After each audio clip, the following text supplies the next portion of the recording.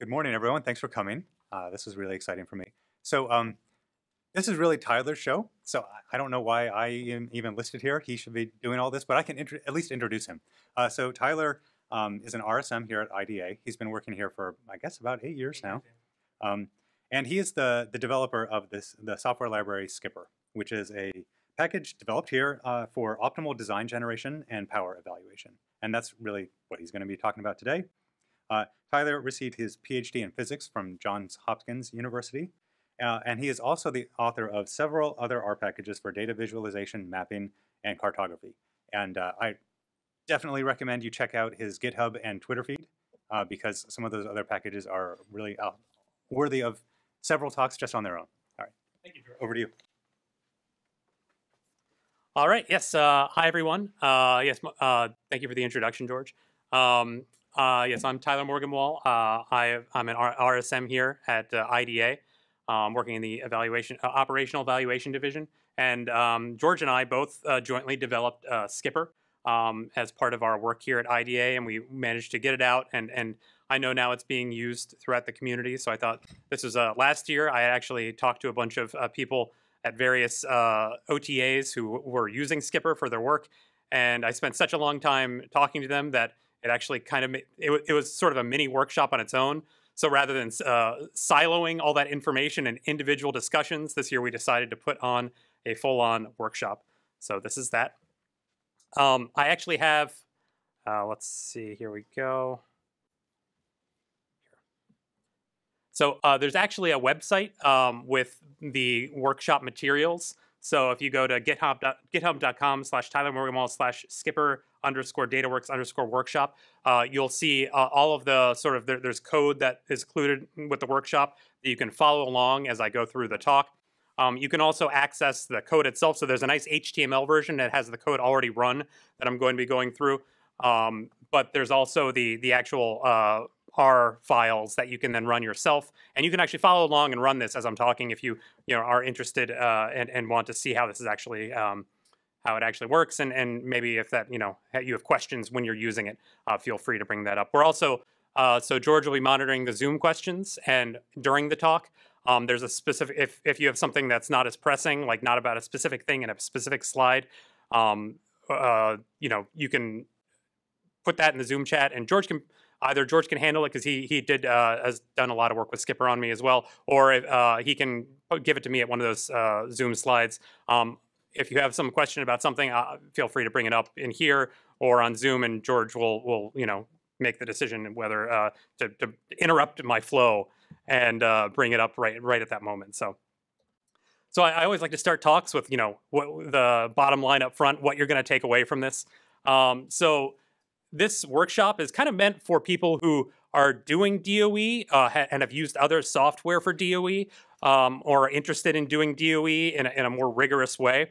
Um, but if you've used uh, other software to you know generate designs and evaluate power for designs, uh, th- this kind of eh, but you're you haven't done it in code or you're interested in, in trying to use R for the first time, um, or you know you you have some knowledge about R and you're just interested in moving that DOE workflow to R to match like the rest of your analysis. Um, this is this workshop is is definitely meant for you.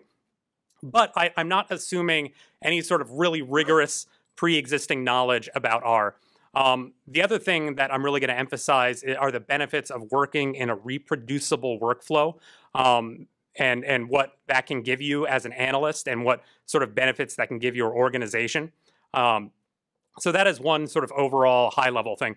The, the next thing I'm going to talk about specifically uh, is about uh, generating optimal designs and why you might want to with skpr. Um, so and how doing that entirely in code can help. Um, so that we're going to talk about that. We're also going to talk about um, one of the most powerful things in skpr is its really flexible, adaptable interface for doing power analyses using a method called uh, um, uh, using Monte Carlo methods. And that this me- uh, method for computing power is incredibly, incredibly powerful and produces very accurate results, even with highly nonlinear sort of responses. Like if you're doing a logistic regression, so you're designing an experiment to look at, you know, uh, compare something to a, a requirement for a probability of some event happening. Um, oftentimes we deal with these logistic regressions, but it's very hard to compute power using sort of normal methods that uh, are supported in most other uh, software suites. So uh, skpr allows you to do that, and there's some really powerful techniques there. Um, I'm also going to talk about how your power analysis actually informs your data analysis. I, I don't think this point is brought up enough when we're talking about power. I mean, we usually talk about power in terms of a, a, little bit separate from the actual analysis, but the two are intrinsically linked. And I'm going to talk how your power analysis can actually act as sort of an analysis plan for when you eventually do your actual analysis and what features in skpr allow it to really support uh, you to do that. And then finally, um, because this was actually a big topic of conversation I had last year, um, is I'm going to show you how you can compute, compute uh, power versus sample size and effect size curves, because I think these are one of the primary sort of outputs that people really want. They want to understand their full resource to power to effect size trade space. And I'm going to show you how that's uh, just like a single function call in skpr um, and how you can generate these and how you can interpret them and use them to, to drive your conversations about effectiveness for your uh, experimental designs. So as the overall outline for the talk, uh, we're just going to go over a quick introduction to DOE, uh, R, and skpr. Then I'm going to dive right into the GUI. So there's a GUI included in Skipper. It's, it's pretty slick. Uh, then we're going to talk about optimal design generation. And then finally, we're going to go over evaluating statistical power. So let's get into the sort of a high, higher level introduction to all, all these topics. Um, so over the next few slides, I'm going to answer a series of slightly more specific questions. So first, I'm going to ask, you know, why why do we want to use R? What are the benefits of R?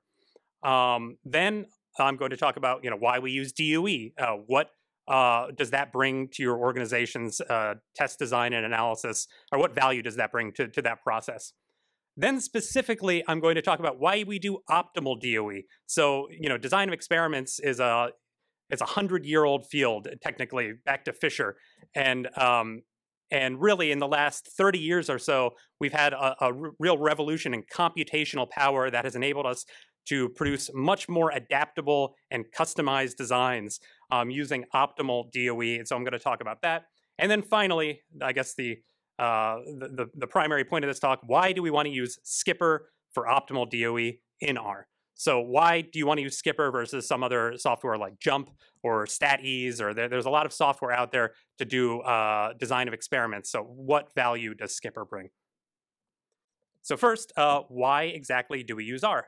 Um, so one thing that R brings to the table is it's purpose built for statistics. So versus other programming languages. So something like Python uh, it has the statistical functionality sort of bolted on after the fact, while R was designed from the ground up with data science and statistical work in mind. So the, the entire software language was built around doing statistics. So that's really powerful.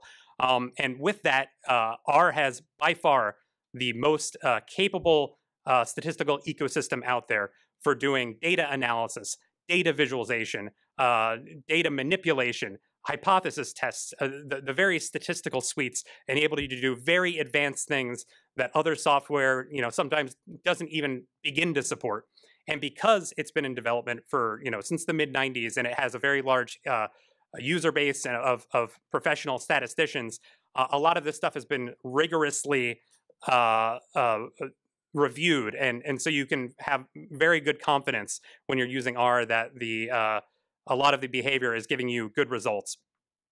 So third, uh, because it's a scripting coding language, uh, it supports a reproducible workflow, and that's super important. Um, I think as an analyst, uh, myself, working in a reproducible workflow is is really great because I can then, if somebody has questions about what I did or what sort of numbers I came up with, I don't have to remember what sort of buttons I pressed in the GUI or, you know, what red triangle I clicked or if I did or did not click it. Um, what I can do is I can go back and I just rerun the script and see, yep, th these are the numbers I got. Um, so that, so this idea of, you know, being able to audit your future, uh, your previous work is, I think, one selling point. But to me as an analyst, that that is only sort of a half benefit because it's like, oh, somebody can go in the future, look at what I did, and then tell me I was wrong. That that doesn't seem like a benefit. Um, but what what is a real benefit, and I think this is the real selling point, is oftentimes as an analyst, I'm given a very similar test design problem over and over again. So let's say I'm working on a program that has multiple increments, and each time we have a, a, a slightly, you know, a, some sort of new uh, capabilities, but what I'm doing is I'm testing the same system over and over again. And there's some tweaks to the test design because some things have changed. But by and large, having to replicate the entire effort of creating that design, getting it through, you know, everyone as sort of a de novo new sort of design and then going through that whole process is a lot more work than saying hey i changed three lines to account for the new conditions. We all agreed that this this design was good before. I, it's generated exactly the same way. Like I, I know i know people know what's going on here and, and being able to go through that entire process knowing that you know we've approved this before and there's very few changes and and also i didn't make any mistakes because you know i can review it. it is just really powerful and saves a lot of work from your end um, so it acts as a really nice scaffolding to, to save you work in the future when you have these scripts. And then finally, um, the sort of uh, great thing about R is it's open source. Um, what that means is, you know, from a monetary view, uh, point of view, you are not paying anything on an ongoing basis. You're not paying a per seat fee. Um, there is no, you know, costs in terms of, you know, monetary costs. It's, uh, and it's cross-platform, so you can do it on R, Linux, Windows. It's supported on multiple different systems. Um, probably the only downside is you know you have to get it through IT. That's by far the biggest challenge is you have to get these systems through your IT and get them to you know be like yes this is fine. Uh, I know plenty of organizations have done it, but that is always kind of the hardest push. Um, and, and get them the idea of yeah, yeah we're going to install a programming language, but you know there are ways to do that where it's safe and fine. So that is why I think we should use R. So we're at DataWorks 2023. Um, I, I hope people are on board with using design of experiments. Um, if not, it's generally speaking, it's it's a framework for intelligently creating experimental designs. So design of experiments just gives you a set of analytic methods and techniques for evaluating and coming up with designs, and it also provides you know set designs that statisticians have you know know are good. Um, but really, the main benefit of DOE uh, design of experiments is to avoid doing stuff like one factor at a time testing. It allows you to investigate multiple factors at once in an intelligent way to efficiently use your resources, to extract the most information from your test as you can. And working in a resource constrained environment, which we all do, um, that is super important.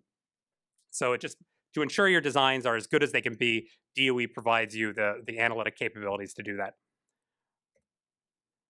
So why specifically when we're doing DOE, you know, they're actually, you know, DOEs existed for longer than we've had optim uh, optimal designs, which were invented sort of in the 70s. DOE has existed, you know, really in its modern form since the 50s. And what uh, what DOE brings is sort of a bunch of um, designs that are extract a lot of information. But the issue with a lot of those, like full factorial, fractional factorial, central composite design, Latin squares, these these are designs that you can kind of look up in a book and say, I have this sort of test, uh, design problem.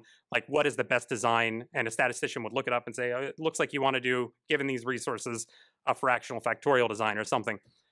But the main issue with that is that they don't really adapt to uh, sort of non-standard design regions. You, you, you don't have a custom design for every single scenario. So, uh, for example, here on the right, we have a flight envelope uh, a very normal thing we would encounter in testing because we can't fly at every single altitude or at arbitrary altitudes and speeds. You, you have to stick within a certain envelope of points. And the issue with classical DOE is uh, it's going to want to put points where the design says it is, but oftentimes we can't put them at any point in the design space. Uh, we have to stick them someplace in this sort of non-linear region. And so working with those kind of constraints um, if you chose an optimal, uh, a, a, traditional DOE design, you would have to sort of manipulate it to fit within this, and you wouldn't get sort of the most power out of that design. Optimal DOE allows you to account for all of these types of weird constraints and design a, a an experimental design that, that's best for your particular uh, organizational purpose. So as an example of some constraints, um, we have obviously available resources. You know, we only get an infinite, a finite amount of money from Congress uh, for doing uh, lots of our things, or you know, from your organization. Um, so having you can't have uh, a, a, an infinite number of test points to you know really investigate everything to your heart's content. Um, secondly, we have safety concerns.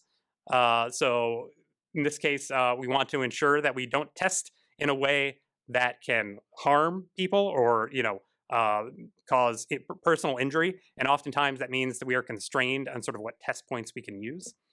Um, and finally, we have this idea of a, a disallowed combination uh, from from just sort of physical reasons. So this flight envelope, we we can't test at any point um, because sometimes it's just not possible, or sometimes um, you know just the, we know the system's not going to be effective in some regions, so that we don't want to test points there. So these are some examples. Um, so I've talked about optimal DOE as kind of like this great tool that allows you to do this, but what exactly is it? Um, so how do traditional DOE designs like fractional factorial and factorial designs actually differ from optimal DOE? Um, first, in a large part, they don't. Uh, so traditional DOE, uh, so that stuff like full factorials and fractional factorials are generally the optimal design for a particular set of constraints. In this case, usually unconstrained designs.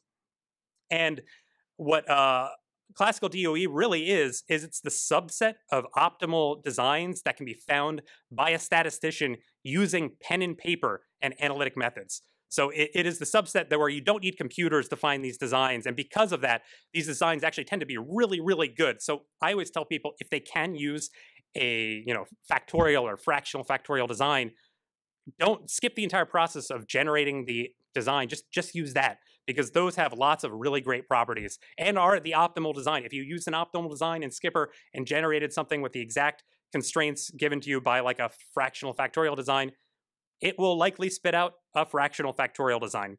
Um, so I, I, that, that is one thing I'd say is, is really traditional DOE is just a subset of optimal DOE. However, um, when the types of constraints we mentioned earlier are present, um, usually there is no analytic way, there's no pen and paper way to find out which design is best. Um, we have to resort for looking for a design using computational methods, so algorithms um, which is what uh, the methods and techniques and optimal DOE allow us to do. Um, and we have different statistical criteria. So basically, different uh, statistical goals we can actually achieve. So you, you, there's not just you know optimizing to make the goal best. Sometimes you want to optimize for a specific purpose. Um, and optimal DOE allows you to adapt to your nonlinear constraints or your your non-ideal constraints, and then uh, fit find the best design for that particular situation. Uh, for example, let's say you wanted to design a test design for, um, let's say, um, minimal prediction variance. So you want to find like a sweet spot in your uh, in, uh, in, your operational test environment or, or your um, test space. You want to find where the system performs best. In that case, you're going to want to predict across the space, and in that particular instance, you want to use an I optimal design, which minimizes the average prediction variance across the space versus, let's say, a D optimal design or, or an alias optimal design, each which have their own purposes.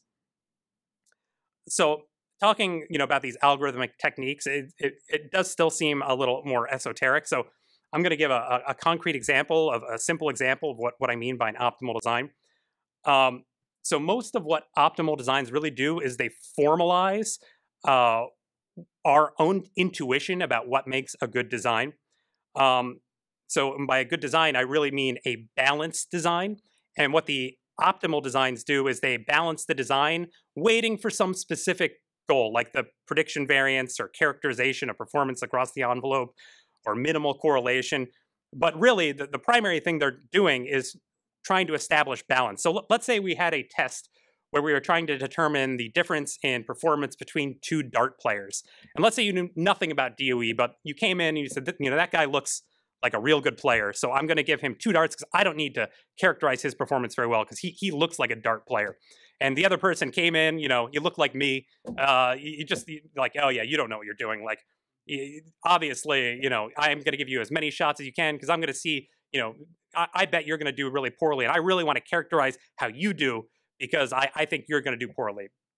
So you do that, and let's say you know uh, you run this, and it, yeah, your your intuition here came out. Uh, you know, you get a lot more shots around. Like you see here, this person did really well. The average is right, you know, right near the center. Well, my average is still pretty good, but you know, you see a lot more variance. The issue with this is that our intuition, what says, hey, we should give both people an equal shot, is actually the uh, the right thing to do from a, a design point of view. And that's because when you only give the top person or the person on the left two darts, what, what happens is there's, a lot of unknown, a lot of variance to that estimate. Um, and when you're trying to tell the difference between two players' performance, what really matters is not only the point estimate of how they did, but also that variance term.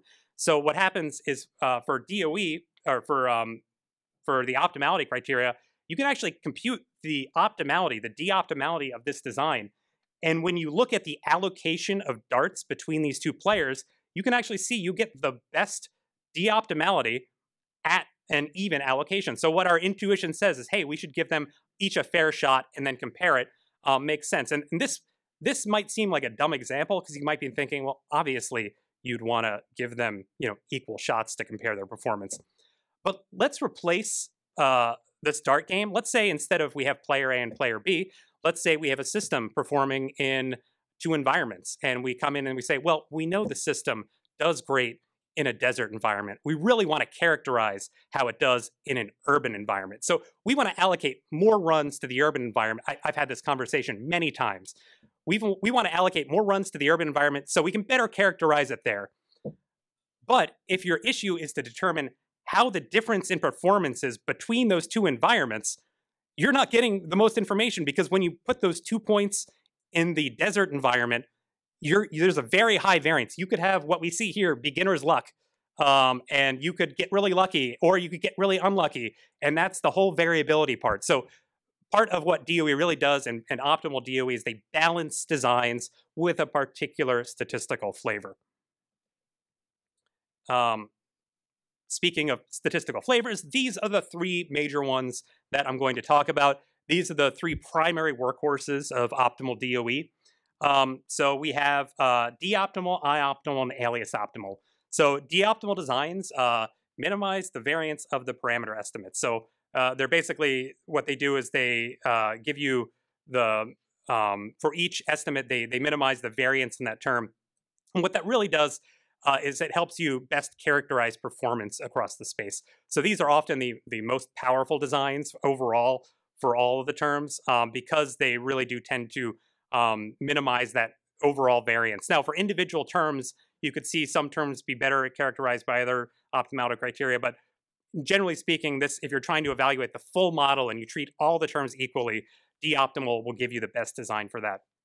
And in general, you can see that when you calculate power, it will give you the best power uh, across all terms. So here uh, on the bottom, I've actually uh, put a little uh, dis actual disgenerated and optimal design for a very simple design space. So this is just two, continu uh, two uh, continuous factors, and I fit a full quadratic model with all interactions and um, or sorry, a full inter- linear model with all interactions and quadratic effects.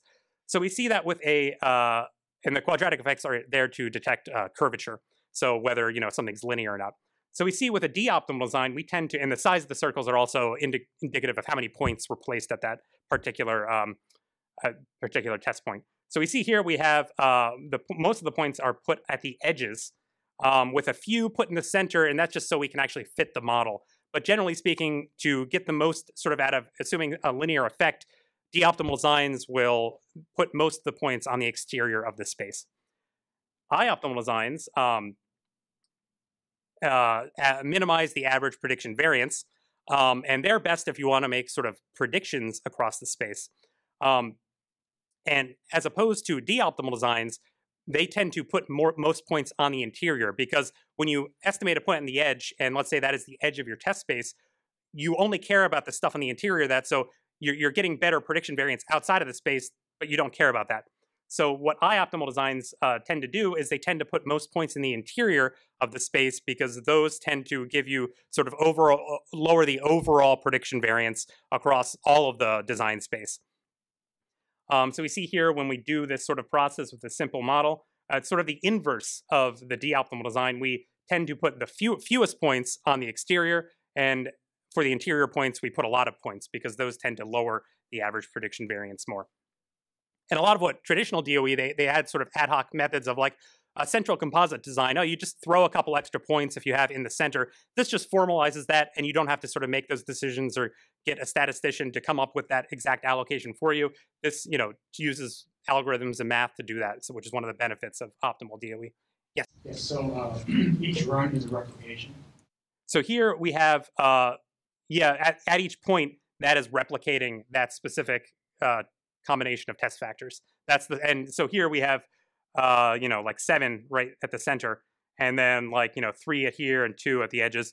But um, yeah, so these are replicates at that point. Okay, and then whatever your number of factors and um, factors and um, levels are, you say, it, it'll just give you the design matrix. Yes. And, and you just, Yep. Oh, and I'll go into how, how we. I'll I'll actually be going through code later that shows you exactly what's going on.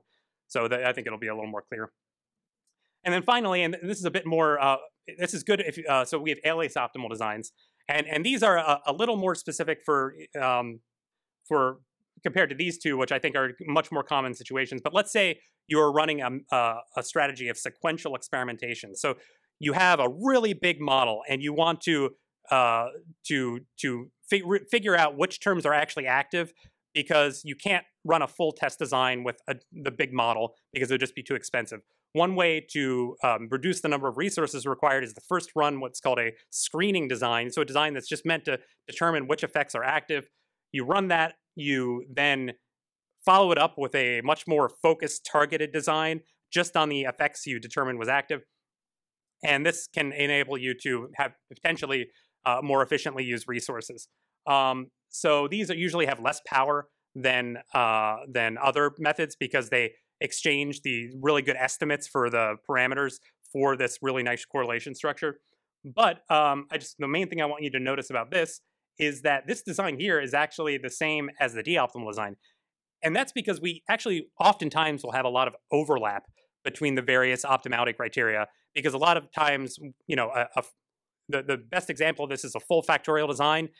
Uh, that design is is basically best in all, metrics because it has such good or, uh, for for alias and D because it has a really perfect it has a perfect correlation structure and it's also the best design you can get from a D optimality point of view. So if you have certain experimental goals and for specific models and test regions, you'll often have a lot of overlap. Um, and, and that's because, you know, oftentimes this balance idea really wins out over everything. Um, in that, like the best, the balanced design is usually the best design for multiple factors. The other thing I just wanted to note is that all these have different computational costs. Uh, the way I like to look at it is d-optimality is pretty much instantaneous. This also depends on the size of your design and everything. Bigger designs are going to take longer. Bigger candidate sets or uh, design spaces are going to take longer. But I tend to look at it as you know d-optimal. You can do it pretty much instantaneously. Um, I optimal is like you know check your email, and alias optimal is go get a cup of coffee. Um, so that, that's what we're talking about. And, and uh, generally speaking, though, for this, these algorithms run fast enough where even the longest ones, you know, you're, you're not talking about having your computer completely stall out for days. A lot of cases, the search process is fairly quick. So here's a concrete example of what I talk, what I'm talking about when it comes to uh, alias optimal versus uh, d-optimal. So here on the left, we have a d-optimal design. This is 12 runs for six uh, two-level factors. And we see here, we have this, this is called a correlation plot. So each color here is uh, giving the correlation between that model term. So we have two-factor interactions, and we have our main effects right there. And what we want, if we're running, let's say, a screening design, is we want to be able to tell the difference between all the various, or, or, or distinguish between all the various different effects from the main effects and the two-factor interactions, because we want to be able to figure out which terms are actually active in the model. So, and whether you know main effects are correlated, you see here, here, over here with uh, two-factor interactions, because if they are, what happens, we run this design and we find that some of those are significant, is they could actually not be significant, but we have this correlation that induces the significance, and then our screening experiment is sort of ruined. Now, you can see here with the alias optimal design, we have this beautiful correlation structure, no correlation between any main effects and two-factor interactions. And that's great if you run this design because now you know if you detect significance in any of these terms, you are going to be able to say, yes, this is not due to some correlation between main effects and two-factor interactions. These are actually active or not. Um, and that's really powerful. This is actually what's called a definitive screening design that was generated algorithmically using Skpr. The one other thing you note is here we have the power values computed for this design. So you see here we have this, you know, 0.969. And the one exchange you get is for alias optimality designs, we see we actually get slightly lower power. And that's sort of the trade space here, is we get slightly lower power uh, with the for most of the terms, but for that we get this beautiful correlation matrix. So these are the kind of discussions and analyses you do as you go through your, your DOE process. So all that. Why do we want to use skpr for optimal design of experiments? Uh, so we have uh, lots of software out there that does, uh, you know, DOE work. You can do, um, you know, we use JMP a lot here around here. But why do we want to use skpr specifically? Um, so first of all, skpr was really designed, um, you know, by testers for testers, by people doing the exact kind of workflows we do here in the test community um, to uh, solve those sort of hard questions. Um, and what that means is we don't have a lot of like extra features and functionalities to support like randomized controlled trials for you know big pharmaceutical companies or other sort of uh, other you know clients let's say of these companies that you know have lots of other goals. skpr was designed to do the sort of doe work you know often we face in you know the dod and related communities of, of, of, for test and evaluation so all the features support that workflow, and and there are really not too many extraneous features that you have to sort of get confused about when you're working. They they all support that DOE workflow we see very often. Um, it's end to end, so it doesn't just so other software suites sometimes do the you know analysis portion, but not the design generation, or they do the design generation, but you know they don't have really robust suites for power analysis. And skpr does both, and it's tightly integrated um, and design specifically easy to use to go straight from generating and evaluating, evaluating design um, in, in just like a line or two of code. So it's very straightforward to use and super powerful uh, for this Monte Carlo power interface uh, because it allows you to do basically things that you can only do with scripting in other or uh, in other languages or buying like the $10,000 pro version. Um, since it's open source, unlike other software, you can actually go into skpr and see exactly what it's doing. If you're making, you know, billion dollar, you know, hundred million dollar, ten million dollar, one million dollar, it's all lots of money decisions on testing. It's really nice to be able to have somebody who's knowledgeable go in and look and see what sort of assumptions are being made uh, to come up with those decisions, which are ultimately used to allocate your test resources. Um, so you can look at the code and see exactly what we're doing and and uh, and that's really, I think, powerful because oftentimes I've run into bugs in other software where something happens and you know we send out something to the to the to the help people there and they're like oh yeah no you just wait till the next version. We have that fixed. I, I nobody sent me a message saying this you know this is an error or something. So that's i think really powerful. And then finally um, in addition uh, to being open source and free which is great um, you also have uh, if let's say you don't want to actually use you don't want to learn R. If if you're like I, I'm I just I don't want to do that. Like I just want to stick with a GUI interface. It does actually come with a GUI interface, which we see here to the right. Um, that sort of allows you to perform a a pretty robust, uh, slightly limited, but pretty robust uh, access to all the functions and feature features in skpr. Um, it allows you to generate designs, evaluate designs, share designs, and, and do all of that. So even if you don't want to, you don't care about coding, you don't want to code, you don't want to learn how to code, you can host this on premises on your laptop. Um, you could have it hosted out in the in, in the open because um, it's all publicly released, FYI, so, so, you can use this and, and, and access it. Um, and you could then just do your analysis purely based on the GUI, and and that I think uh, is super you know convenient. If you could do a GUI in the middle of like a a, a meeting where you're discussing, or sorry, a, a, a in the middle of a meeting when you're discussing something, like that's how straightforward and simple it is to use. But in case you do want to learn R, which I highly recommend, um, so here I have uh, on the Skipper's Data, Walk, Data uh, DataWorks workshop website, we have this um, uh, R basics tutorial. I'm not actually going to go through this particular one uh, because it, it does, it, if you do know anything about R, it's just, it'll be super boring. If you don't know anything about R, it'll be a fire hose. Um, so what I'm going to do is provide you with this link. Um, if you want to learn more about it, this basically walks through all the basic features you need to use R um, in the context of skpr, So not anything extra. And, and what it basically tells you how to do is how to install packages. So install software, install skpr, um, how to create and assign vectors, uh, numeric, categorical, and and uh, how to go through and use for loops to automate tasks. You know, if you're doing iterative tasks over and over again. Um, it explains data frames, how to manipulate data frames. Data frames, if you don't know, are just the tabular data format available in R. So they're how you, you express tabular data. Uh, how to generate candidate sets. We'll, we'll see this in the code. Uh, basically, expand.grid allows you to uh, quickly produce every single com combination of various input factors, which you then feed to generate test designs. Uh, most esoteric thing is, think, is, I think, R's formula interface. So it explains that in, in some detail, how to specify your model, specify interactions, um, stuff like that.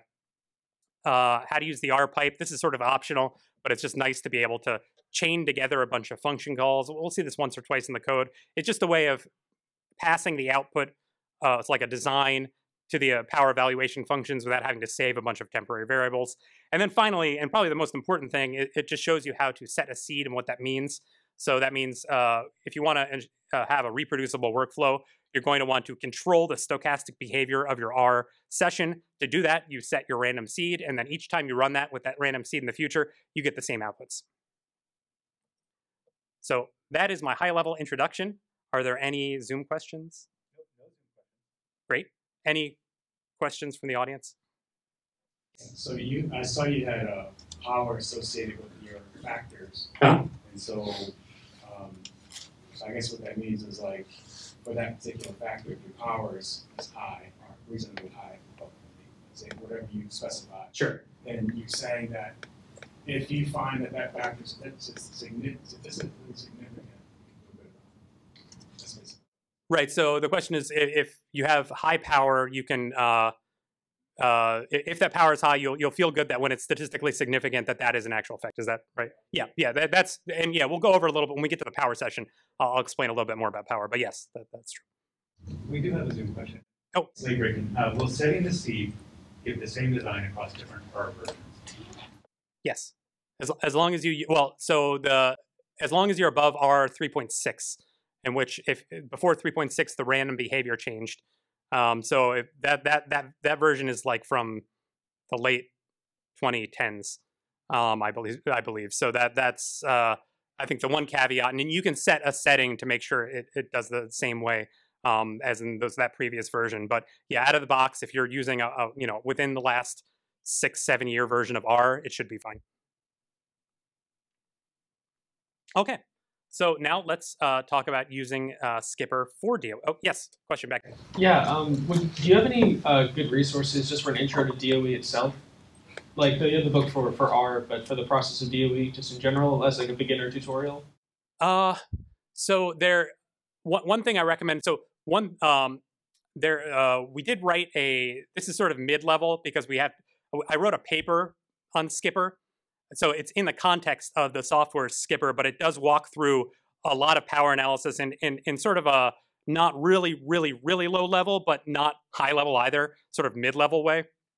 Um, so there's a Journal of Statistical Software, George. I don't know if you could put that link in the Zoom or something, or um, it'll be a link at the end. You, you can just see it there. Uh, but uh, that sort of provides like, yeah, like a mid level for like very low level. Um, I don't know what the optimal design experiments, that little white book. Oh yeah, there's a book. Uh, yeah, G G O O S and Hanshin. Hanshin. Yeah, I, I don't know how to spell the, the last one, but they do provide, and that it gives a um, that book particularly provides a nice sort of uh, case study view, like walking you through like your analyst discussing an actual uh, DOE, and it is actually great because it does walk you through a lot of these issues, and then has like little sidebars to sort of explain the more complex stuff. But when you're reading through it, it's very straightforward. So yeah, that, that is a very good one. Yep. Okay. Any other questions? Okay, great.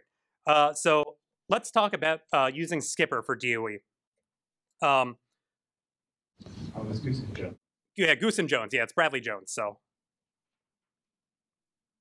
uh, so let's actually talk a little bit about the specifics of what in is included in skpr um, and what functions you actually work with. So the basic workflow in skpr um, is you generate a candidate set. So uh, you basically create every single point that could potentially be a test point with expand.grid. So that just creates a, a full list of all the different combinations of all your input factors.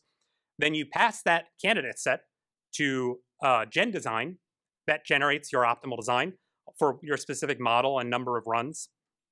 And then finally, you evaluate that design's statistical power using either a val design, which does a parametric uh, power calculation like you get if you use JMP before. That's what you get out of JMP. And you can pass the same designs from skpr into JMP back and forth. You'll get the same numbers. Or you can use a val design MC. MC stands for Monte Carlo. That is the really, really great interface, uh, flexible and, and adaptable for doing these sort of analyses for nonlinear responses. Um, and that is, uh, I'll talk about the values of, of that later. So you can do this alternatively, and this is something new in like the last few months. Um, you can also then just create that candidate set and then pass that to this calculate power curves function. And this is great because it automates generating and evaluating the designs iteratively. So let's say you don't care about the specific designs. You're not like coming up with a actual test cards to give to the operator to say this is how you're going to run the design. You just want to do this high level analysis for these are the various design sizes and powers. You can uh, pass this in uh, along with your model and num number of runs you want to look at to calculate power curves, and that will give you beautiful, nice curves that show how the power changes versus effect size versus uh, your number of trials for all the different model terms. It's for effect power, for parameter power. It's, it's really great. And finally, if you just don't want to work in code at all, there is the GUI, um, which I will now uh, dive into. So um, although a lot of this workshop is specifically about the benefits of a re reproducible workflow um, and how to generate and evaluate optimal designs and code, uh, so this is definitely the easier way, if you, especially if you're just getting started. So when I was writing skpr, um, I realized it was really quite an ask to get people who are, let's say, used to the point and click interface to transition. I mean, DOE is hard enough on its own, but say, okay, let's do DOE, but also make it so you don't have a really nice interface that shows you, you know, automates the entire process. You have the infinite possibilities of, you know, a, a blank slate of a code in front of you, uh, and, and and we think that's better. Um, so doing that, I thought it was really great to, let's say, have an intermediate interface, uh, a GUI, um, not working entirely in code, but uh, also getting the benefits of operating with this, you know, flexible open source tool. Um, and thankfully, R actually has a really great interface for doing, uh, for making these HTML applications called Shiny. Um, and so we made this GUI uh, for skpr in Shiny and allows you to create sort of uh, nice GUI interfaces for any R code. Um, so not only that, but also we included uh, in this GUI the ability to actually uh, sort of learn R as you're using it. Um, so let me actually show some of that. Um, let's exit out. And I'm going to make sure to share. Uh, I'm going to bring up this. This is the one live demo portion of the talk. Uh, let me then share this specific screen. Okay. Here we go. Share. All right. Hide Okay. So everyone can see this? Okay, great. So this is skpr GUI. Um, and this is just the nice, you know, HTML interface for generating and evaluating desi the designs. Um, we see here we have two different panels. Um, we have this left panel where we put in our inputs, and then we have this right panel over here where we have our results. So um, here, let's say we have a little design right here. Let's say um, I uh, can go over to this panel and I can say, let's say we have three factors. Uh, so I have three factors here. I can change the name of this. So I'll say temperature. I'll say it goes from 0 to 100. Uh, I'll say speed. Uh, I'll say 450 to 550. And then we'll make a categorical factor here. And we'll call this uh, mode, and we'll call low, mid, uh. So this is, you know, I, I don't know exactly what this test is for. Let's say, you know, we're cooking, um, I don't know why speed would be there. We're, we're, we're cooking at altitude in an aircraft and we want to bake the best cookies. Which you might think that's I, have actually been in, in in an aircraft before where uh, a P8 they have a they had an oven and they they brought up break, baked cookies in the middle of a test, very long test.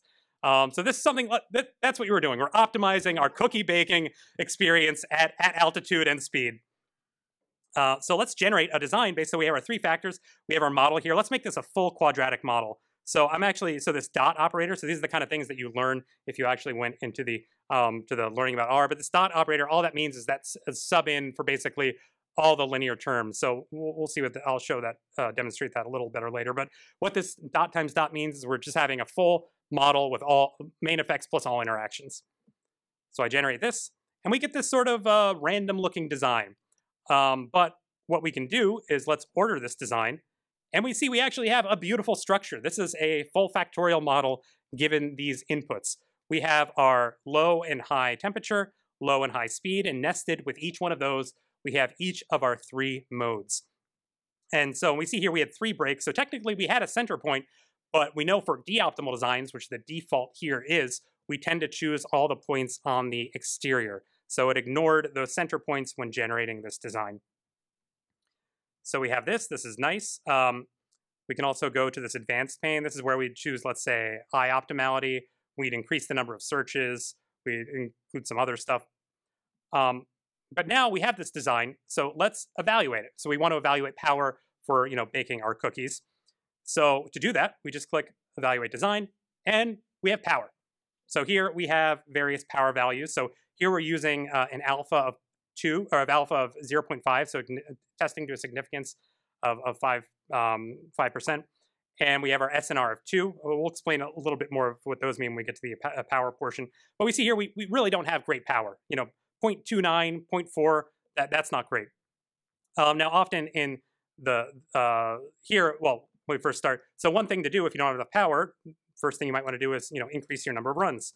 So let's say I increase our number of runs to 18 now. So now we have some interesting structure here.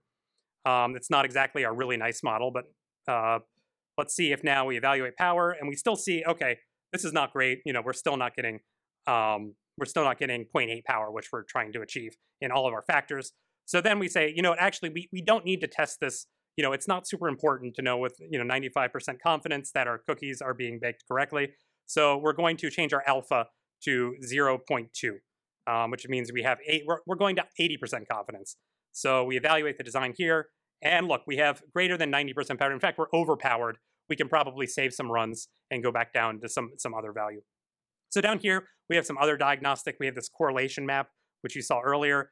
We have this uh, something called a fraction design space plot and some other sort of uh, design search diagnostics.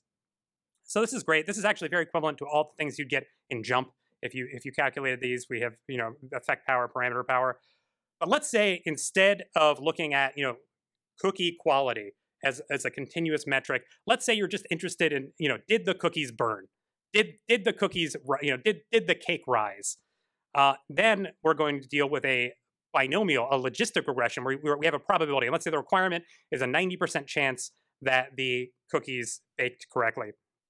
Here, we want to now fit a logistic regression. So let's say we go down here and we choose a binomial response and we want to test the difference between the probability of uh, 70% to 90%. So we want to see if a individual factor changes the probability that will, a cookie will come out correctly down from 90% to 70%.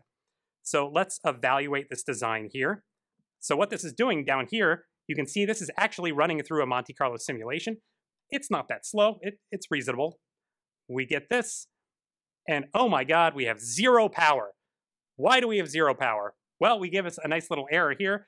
Partial or complete separation likely detected in binomial Monte Carlo simulation, uh, basically saying that we have uh, an issue fitting the model, and that's this is a degenerate issue that you often encounter when you have uh, binomial uh, models or, or logistic regression. So really, the mean, there, there's a couple ways to handle this, but the, the, by far the best way is just to increase your number of runs because it really is a case where you just don't have enough runs. So let's say we do that. Uh, let's go and generate our design. And so we have 256 runs. So pretty quick. You know, we're, we're talking, with, this is very fast. And now we evaluate this. Again, simulation, pretty fast.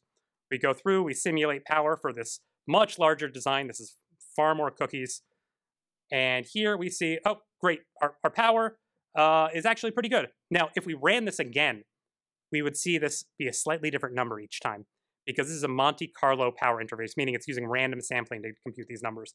Uh, but we see here, this is really great because it's actually computing uh, power based on using the actual methods you use to analyze the data. So there's no approximations being made here. The only thing you have here is a little bit of sampling noise, which if we went over to this pane, we could in increase, or sorry, power, we could increase the number of simulations and that noise would go down. So if you want to have, if you come up with a design, you say, hey, I just want to be sure that this is, you know, right on the edge. I want to make sure it passes. You just increase the number of simulations and that'll give you a much better estimate. So finally, um, so I was changing all these settings this entire time. Uh, we have this pane called generating code. So let's say you know nothing about R, but you want to kind of learn more, or you've been using the GUI, but you find it a little limiting. What you can do is you can actually go to this pane and you can see how you can see the actual R code being used to generate these plots. So let's say I increase the number of factors. We see here that shows you how the candidate set then also increases. As you, let's say, change the model. Let's say I add a quadratic term. So I speed squared. You can see down here, so this expanded that. Um, so now we see this I speed squared uh, included as well. We, this tells you basically how to run this. You can copy and paste this code and have a, re uh, recorded uh, state of where that design is, and then you can rerun it in the future. And this is really great because I think it really offers somebody like who doesn't know necessarily the hardest part about coding is the infinite possibility of what you can do. Here, this shows you exactly what you need to do to get various different inputs. And then finally, um, and uh, what this interface also does that I think is really helpful is it links your final analysis methods to the actual uh, power analysis. So it tells you, given you're doing this power analysis, what does that actually mean you're planning on doing when you analyze the data? Because I think oftentimes people do a power analysis sort of in a vacuum, and then they plan on doing some other sort of analysis when they get the data. This shows you what that analysis is actually valid for, and it gives you the exact uh, R, R function call to analyze your data once you get it. And there's just two quick other things I want to show. Uh, you can actually, if, if you uh, want to save the state, so if you hit this button up here, copy and paste this, open up the in the future, this will actually save the exact state of all your inputs um, in this pane, so you can then rerun that. And you, there's actually also this great tutorial that walks you through everything. If this is this is a bit of a fire hose, uh, but you can then go uh, take at your own leisure, and walk through this, and, and this will explain all the various features and, and give you some context for each thing is. So um, that is the GUI. So any questions? Yeah, at the bottom you said that um, it, it, gives you information on what you need to do. Yeah. Uh, with your model. Yep. Um, I, I don't understand. So let's say you finally get your data, like you, you run your test, you, you, you collect your out, you know, your actual results of your data. This shows you how, given that design and those results, how you actually analyze that data because when you do a power analysis, you're, you're assuming a certain method of analysis. So this shows you exactly what that would look like. So in this case, you'd be fitting a generalized linear model with a, binom a, a binomial response, um, and it shows you the exact model you would be using and gives you the code. Uh, and it shows you here, we also say, you know, we, we pass this data, uh, this design, and it shows you how to like input that design and formula. So it, it just shows you how to analyze your data once you collect it. Also, uh, does the code do anything with checking the assumptions? Like, is it, this data math, normal, or? Well, remember, we're dealing with, we're not dealing with, so skpr doesn't deal with the actual, so the question is whether uh, it deals, skpr checks for normality or other sort of checks on the response. skpr just deals with the power uh, generate, or the, the design generation and power calculation. When you actually get the data, then you have to do all that. It doesn't deal with the actual data itself. So it just does everything up to the analysis for power for planning purposes, but but the actual analysis is done using other software suites. Okay, so that's it for the GUI. Um, so now let's get out of here. Let me reshare the screen for this. Okay, so that was the GUI. Um, so now let's talk about uh, optimal design generation. Um, so we kind of went through that a little bit in the GUI, but now we're going to sort of dive in to some concrete examples with code. Um, so here we're going to be, uh, during this entire, let me get rid of this, during this entire, uh, during this uh, talk, we're going to be using this hypothetical example of evaluating a synthetic aperture radar system. So basically trying to see how the resolution, if you don't know synthetic aperture radar, it's basically a radar that flies around and takes pictures. It shines out radar pulses, gets the information back, combines them all and creates you know images um, going through like clouds or you can take them from space and it, it's it's it's a just a way of shining using radar as a flashlight to take images. Um, and you, but you uh, do it from like aircraft or satellites. Um, so we want to see have let's let's say a test where we investigate how the resolution changes uh, over let's say altitude or let's say speed or uh, SARs have different modes. They have modes that you know focus on a single area for a long time, or that scan a large area. So we want to characterize how the resolution changes. So what we uh, the resolution is specified usually for for lots of imagery systems in terms of NIIRS ratings. So NIIRS just stands for National Imagery Interpretability Rating Scale. It's just a number, a continuous metric that corresponds to resolution. So that's going to be our continuous response. But let's say we also had a programmatic requirement that an operator was able to correctly classify an aircraft based on this imagery at some certain probability. Um, that would be a binomial response. Um, and to actually investigate that, we would have to do a, a different type of power analysis. So we're going to have, let's say, these two different types of analyses that we're going to run and generate uh, power evaluations and designs for.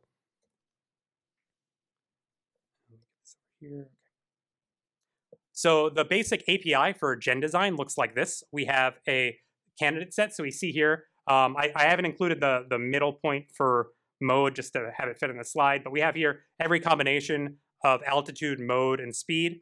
Um, and we feed that in along with our model and our number of trials that we, our resources, uh, into Gen Design. And then output comes our optimal design. Now you can see here that even though we have three points, a center point for speed, because it's optimal, we don't use that point and we choose only ex the exterior points. Um, so what is going on in the background for uh, what skpr is actually using is something called, this is a little technical detail, but it, it, helps provide context when you're searching for designs. It does something called a hill climbing algorithm where it basically just continuously searches through the candidate set and repeatedly uh, loops through it and exchange makes exchanges into your uh, design to improve the design. Every single time it finds something that would make your design better, it subs in that run and, and it loops through and does this over and over again until the design doesn't improve anymore. And then it says, okay, I found an optimal design. However, uh, because this is sort of a stochastic process and uh, it actually does this multiple times over and over again, each time starting with a random design. Um, and this, uh, so th that's what we see here. We, it's looping through this list of this candidate set of runs. It's subbing in those runs here whenever it turns green. And then we can see the optimality condition rising as it each make, makes each one of those exchanges. So why it does it multiple times, and this is really the context I want you to take because it actually can affect your design quality. So depending, um, because it's a hill climbing algorithm and we're dealing with an optimiz optimization problem, you have the issue, if, if let's say you started a thousand people at a thousand random points, um, you know, across a mountain range, and you said just keep on climbing up, and each person, they keep on climbing up, and then they reach their peak, and they say, okay, I've, I've reached as far as I can tell, and they're, they're, blindfolded, so they're like crawling on their hands and knees. They reach the point and say, I think about the highest point. Uh, oftentimes, you see most of these uh, points end up not hitting the actual highest point. That's the equivalent of finding a design that you it's locally optimal. So let's say you need two exchanges to make it better, but you're never going to do that because we're only exchanging one at a time. What skpr does is it starts off with uh, random designs all throughout the space it has all of these climb up to find the best design, and then it asks all of those different design searches, hey, which one of you is highest or best? And then out of all of those, it will pick the, you know, the best one. And this is important just because when you have a design that has lots of constraints or has a really weird uh, uh test space or a really complicated model, oftentimes you do have a bumpy sort of uh, space like this where it's really hard to optimize. So um, if you have a case where sometimes you get a different design or you look at the optimality and it it's changing, you might want to just increase the number of repeat searches, and that will improve, generally speaking, your, your design quality. So let me just run to this. I have, a, I have already pre-generated a code demo. So it's here at this skpr uh, Gen Design. If you go to the website, it's uh, the Gen Design website. So here, let's go. And this is a good point because we are about halfway through our talk. Uh, I'm going to go to design of experiments. And here and all right. So here we're actually going to be, so this originally was a live demo, but live demos are awful um, because things just tend to go wrong and then everyone's just sitting here looking at me. So I ran a live demo ahead of time. Um, so here we're, we're seeing uh, all the code. So this is just the code that I've run and the outputs are right below it. So you could run this on, on your own and you'll get the exact same thing. Um, so here, uh, what I'm doing is I'm uh, so we have our SAR example, and uh, what I want to do is I want to generate a candidate set uh, for this. So here, I'm actually generating a much more coarse candidate set. Uh, so here we have altitude. So this produces a data frame, um, which we see down here, um, where we have every single combination of altitude, speed, uh, mode, and target environment. So and we see here we have uh, three, we have our three spot modes. We have our target environment with two different kinds, and we have uh, uh, our various speeds. And, and in this case, we're saying also um, target environment is going to be a hard to change variable, which we'll talk about in a little bit. So this is what this actually looks like. So this is this data frame that's printed out. We can see here we actually uh, have a sort of nested structure. Every single combination and or combination of these uh, various speeds. We have our three altitudes. Each one of those we have a different speed. Um, each group of speeds we have one scan, and, and, and we have this sort of uh, structure uh, of our of every single combination of these terms.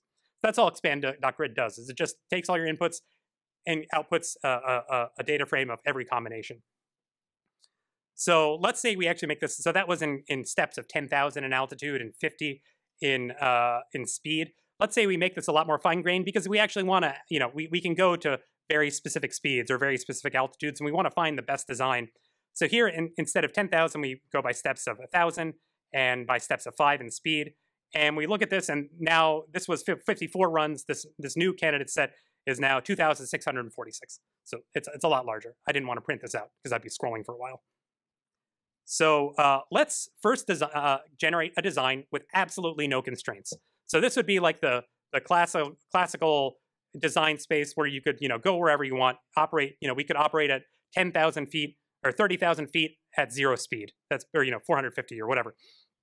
So here, what we're going to do is we're first going to set a random seed. So this just makes sure that everything we run after here, we can reproduce later. Um, and this can just be a random number. Um, and we specify our candidate set that we just specified.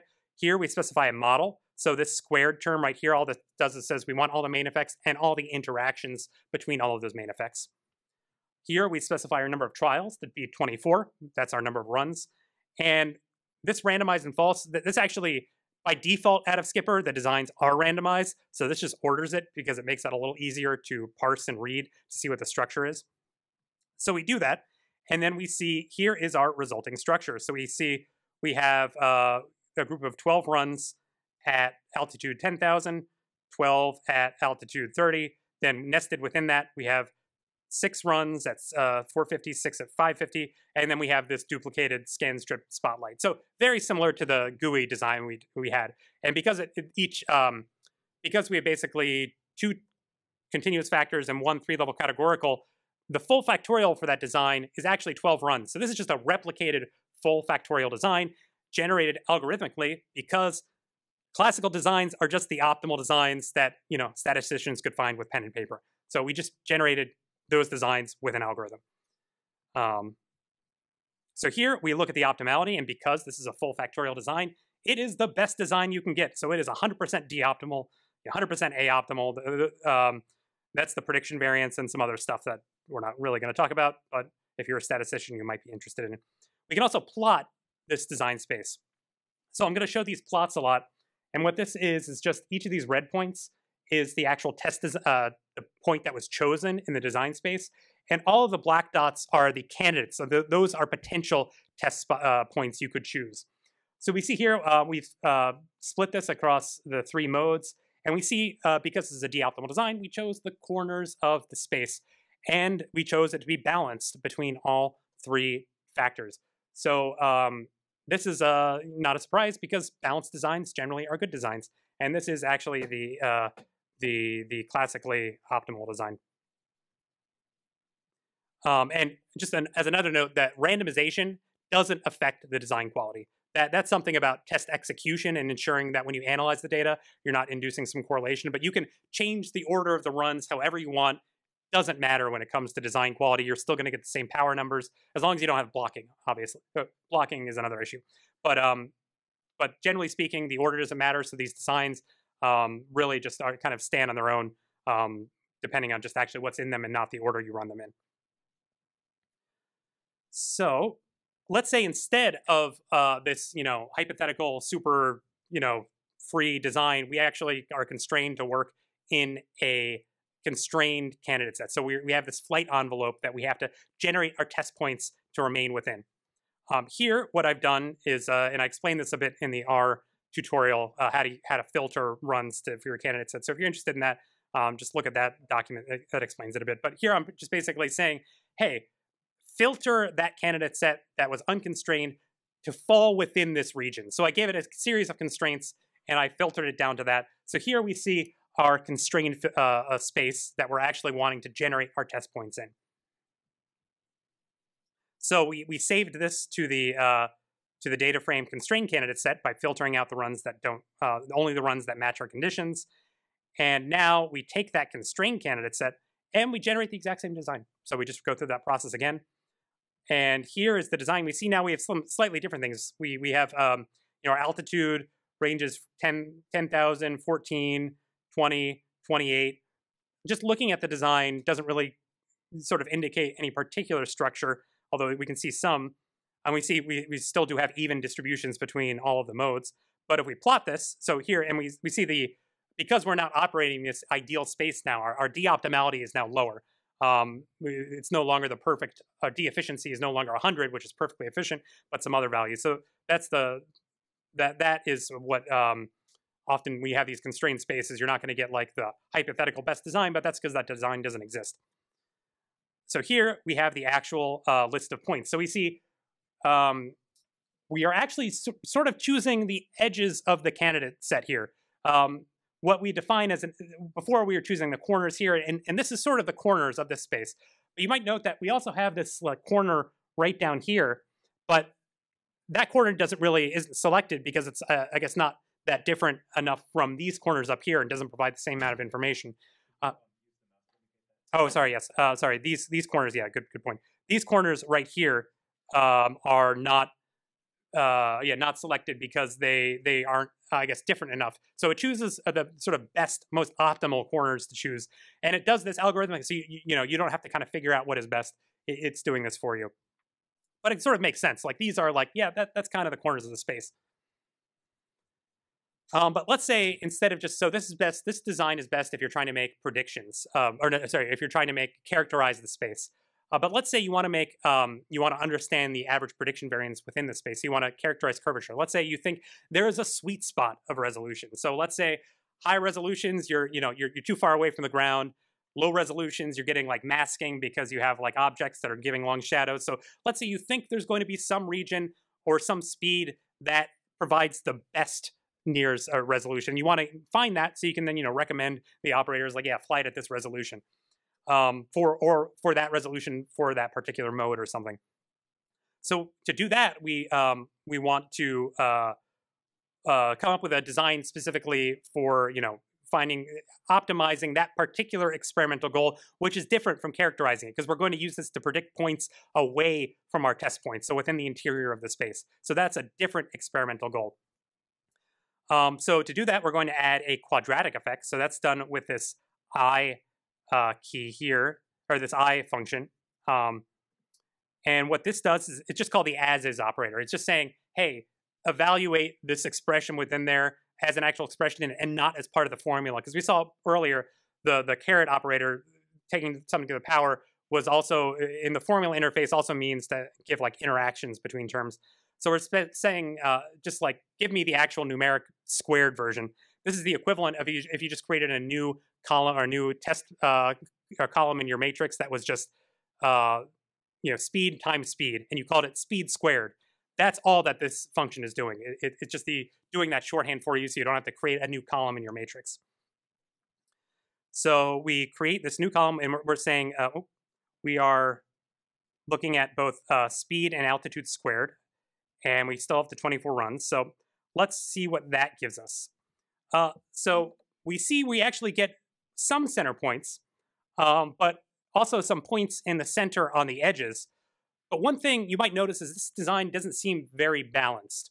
Um, we actually have, uh, between each mode, it's not really balanced in, in the points that are chosen. And, and that's one indication I mean, we're going to talk about power later, and that's how we really evaluate designs. But when you see an unbalanced design like this, you, you can take it as an indication that you probably need more runs because especially when you're doing prediction across the space.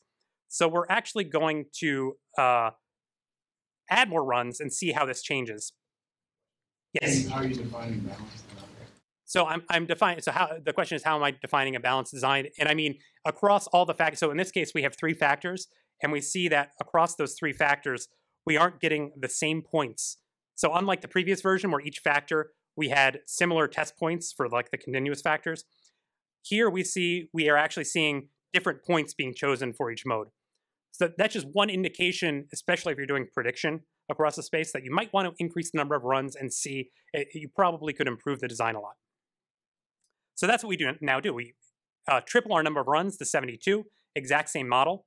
Um, note we're still setting the same seed because we want to, you know, be finding, uh, running through a similar search process each time. And we see now when we increase the number of runs, we get almost a perfectly balanced design. Um, but you know, we, we do still have some other points because it chose to allocate some points in a way that actually did sort of give you a better design than it being perfectly balanced. Um, this is where the kind of weird sort of uh, you wouldn't you know think to put this little point right here, but apparently adding that point and, and I and I ran through this a bunch of times. This is very consistently puts a point there, but that provides you know a better prediction than points off center. You also might have seen this in JMP. JMP does this a lot, where you'll have center points and then it'll give you a point at like point you know 0.04 or something like very slightly far away from the center or away from a point and, and it's doing that because it says you know figured out that actually this gives you slightly better prediction variance. Um, the difference here in skpr is it uh, only does that for the points that you allow. So it doesn't give you if you know it, it's not going to say run it at you know altitude of 124 or 1224.973 feet because that's optimal it's going to say hey you you said 1200 feet was a or 12,000 feet was a good number. I chose that. Um, so that it, it, it still is keeping in consideration your list of available test points. But we see this is much more balanced. We see here now we have, you know, it's choosing the same corners, it's choosing the same edge points, and it, it's allocating it a little bit differently, but uh, generally speaking, we're kind of uh, symmetrical on all the three modes. So that, that, that that's an indication uh, that you're probably um, exploring the space pretty well. And what we do see here is as we increase the number of runs, we see what, what's going to happen is it's just going to replicate more points at these runs. Um, generally speaking, when you reach the point where you're not adding new points to new areas, uh, as you add more runs, you're just going to continue uh, replicating those points um, for for these uh, usually for these I optimal designs. So let's uh, so one caveat I have to say about balance is let's say your candidate set. So here I added in an additional constraint. I just said that when the mode is spotlight, the altitude, let's say in this case, has to be lower, or we can't go to the max altitude. In that case, you, you might not expect, uh, you shouldn't expect it to be balanced because your candidate set isn't balanced. So when I say look for balance, because that generally means a good design, or if, if you do have an unbalanced candidate set, we see here obviously like this is not not producing uh, balanced designs, is not putting the center point in. That's this that that what I'm saying about balance is more just like a rule of thumb um, for increasing the number, but it, you don't necessarily look for it in all cases. Okay, so th these were all d-optimal designs. Um, but let's say we, yeah, we want to predict, uh, we want to find that sweet spot in the NIIRS score. Um, so in that case, it's often best to use an i-optimal design because i-optimal designs minimize that prediction variance. So they give you better model predictions across the space. Uh, so here I've generated an I optimal design. The only difference is I said optimality is equal to I. Um, and we see here, uh, so this is the I optimal design. This is the I optimal design, and here's the D optimal design. So we see the prediction variance, which is what this I uh, uh, number is, is lower for the I optimal design, which is what we expect. But we also see the D optimality is lower, meaning we're not, uh, we have higher variance on, you know, characterizing or less ability to characterize the performance across the space, but we do decrease uh, this uh, prediction variance. So let's see exactly which points are chosen. So these, this is our original design. This is just the balanced three-level quadratic d-optimal one. And let's see what happens. And we see we have part, uh, particularly focusing on these edge points. So for the i-optimal design, uh, we get something slightly different. Uh, now we're actually putting lots of points on these uh, edges. Um, and this really helps, and, and not in a way that necessarily you'd figure out you um, on your own, but this is what it's determined to be, you know, give you the best prediction variance across this non-linear, uh, non-ideal space. And this is what uh, op or optimal designs are really good at doing, is if you have some sort of space like this that you're trying to, you know, create the best design considering some like goal like prediction variance, there's going to be no closed form way of doing that. You could do that with like rules of thumb, but here you're you're you're algorithmically finding something that is best. Um, and by increasing the number of repeat searches, you can be more confident, um, especially if you get the same design over and over again, that that one is the globally optimal design. So the thing is about looking at balance and everything is it, it that that's just kind of a, a, a rule of thumb for like exploring the space, but we actually need to evaluate these designs and see if they fit our experimental purpose. Um, so in this case, for I optimal designs, we want to look at to see how the average, not only the, the average value, but sort of how the prediction variance varies across the space. Um, and we can do this using what's called a fraction of design space plot. So this is also in JMP, if you've seen it, but it, it basically tells you uh, it, what proportion of the space lies below some uh, prediction variance. And if you have some regions that have maybe very high prediction variance and some regions with very low, ideally, um, so let me show you an example. Um, so ideally, and let me actually just pull this up into two new tabs so we can compare them. So we're comparing here our D-optimal and our I-optimal uh, design for average prediction variance across the space. So this plot just tells you that that red vertical line tells you where uh, uh, and the, the where the average prediction variance is. So um, at half the design space, and the horizontal line tells you what that value actually is. So if we go here and compare the D-optimal, so here uh, to the I-optimal, we see that the I-optimal design is better in all ways. It has better average prediction variance. So we see the average prediction variance, the horizontal line goes down. And it also has better maximum prediction variance. So there are regions in the D-optimal design where the variance is very high when you make model predictions and uh, basically being like points that are far away from any of your test points. And those, uh, because we put more interior points for the I-optimal design, we minimize those really bad regions. So there's some that, that enables you to be more confident knowing that you know your maximum prediction variance is below some certain level. When you actually use that to predict, you can say, okay, I, I have a good idea of what the worst case scenario is for this design. So here we have our various values. Um, so any any questions on that, on fraction of design space plots or, or DNI optimal designs? We have a Zoom question. Um, uh, is there a feature that helps you figure out how many runs you need to achieve a goal? Or do you have to do it by hand? Uh, well, so the the question of of you know what if you have to do it by hand. So I think operating in code by hand is pretty easy because you just hit run for let's say let's say you're doing uh, so calculate power curves, which I'll show in a little bit. That if you're judging your your design based on power, there's there's nothing that makes the decision for you. I, I guess that's that's the big thing. There's nothing saying like yes, this design is good. You're not going to get your you know 06 review uh, from skpr. It's it's going to provide you with the things to review later. But no, it, it's um I think, I think maybe your power curves. yeah the, the power curves really what automates sort of a lot of the the work um, behind doing that. So yes, I, there is that. I'll show off what that is when we get to a design evaluation. Okay, so um, let's talk a little bit about split plot designs. So split plot designs, basically, sometimes you have, in, in this case, we're saying um, target environment is hard to change uh, because when, uh, let's say you can do a bunch of runs where you can quickly speed up the aircraft, slow down the aircraft, move to different altitudes, but let's say flying 30 minutes to get from a desert to an urban environment can cost a lot of money and a lot of time, and you can't do that very frequently. Split plot designs allow you to design considering those restrictions on randomization, basically saying like, you know, I can't I can't vary this every uh, every single turn. I can't fly back and forth between like, you know, Las Vegas and you know, China Lake or something.